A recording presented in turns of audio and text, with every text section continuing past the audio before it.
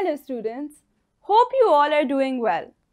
In today's lecture, we are going to discuss about the measuring instruments for length.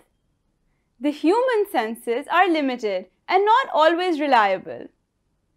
To make up for that limitation, we need instruments for making accurate scientific measurements.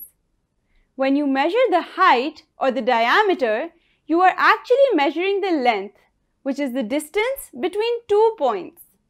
And as you all know, what is the SI unit of length? Yes, it's meter. Students, in ancient times, measuring instruments were not very accurate and unreliable.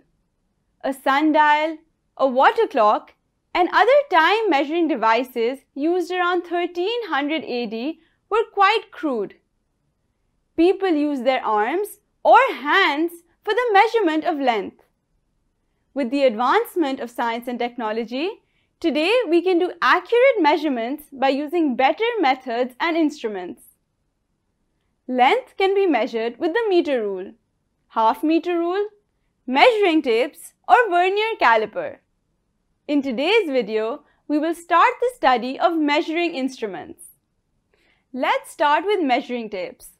Measuring tapes can be used to measure distances or lengths of up to several hundred meters. There are two different types of measuring tapes. One is the measuring tape and the other is a retractable measuring tape which is used by carpenters.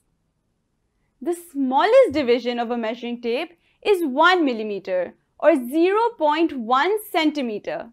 Thus, it has an accuracy of 1 millimeter or 0.1 centimeter. The total length of the measuring tape is generally 10 meters, 20 meters, 50 meters or 100 meters.